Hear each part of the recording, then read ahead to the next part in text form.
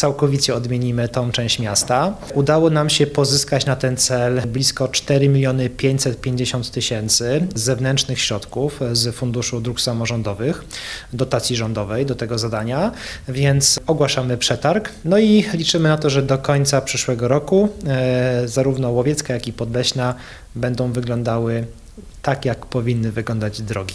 Część tej drogi jest ścieżką, po której chodzą bardziej, jeżdżą ludzie na rowerach, samochodem ciężko tam przejechać. Ona też będzie objęta e, tą przebudową.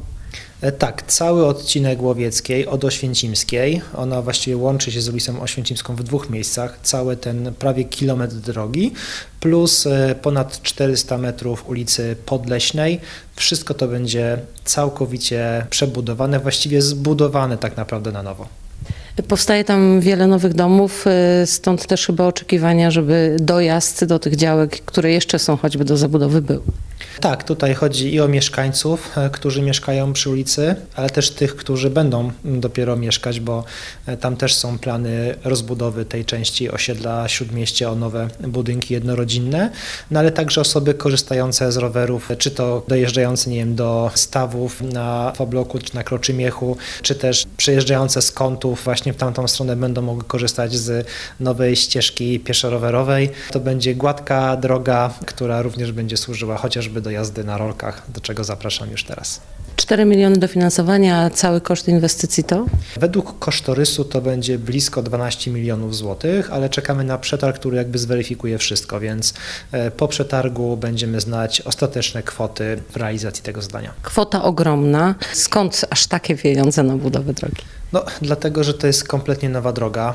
Jezdnia, chodnik, droga pieszo-rowerowa, oświetlenie plus odwodnienie, które tutaj jest e, jakby kluczowe. E, To odwodnienie też nas sporo kosztuje w tym terenie, ale jak Państwo wiecie, jak mieszkańcy tych terenów wiedzą, no są to tereny, które kiedyś były terenami podmokłymi. Zresztą tam całkiem niedaleko pojawiło się oczko wodne, więc musimy to odwodnienie dobrze zrobić.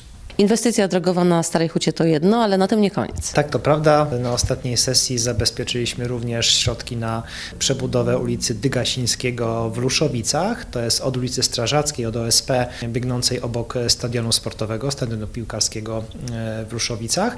Ta droga będzie przebudowana, będzie to zadanie realizowane przez powiat chrzanowski, ponieważ Dygasińskiego jest drogą powiatową, ale my jako gmina e, finansujemy tą inwestycję w 50%, więc e, z jednej strony udało nam się pozyskać te e, ponad 4,5 miliona na ulicę Łowiecką, z drugiej strony pomagamy e, powiatowi w wysokości 250 tysięcy na modernizację ulicy Dygasińskiego w Ruszowicach, także Cały czas staramy się i pozyskiwać środki e, finansowe na drogi, i je rozbudowywać, przebudowywać, modernizować, bo potrzeb jest tutaj naprawdę olbrzymia ilość w gminie.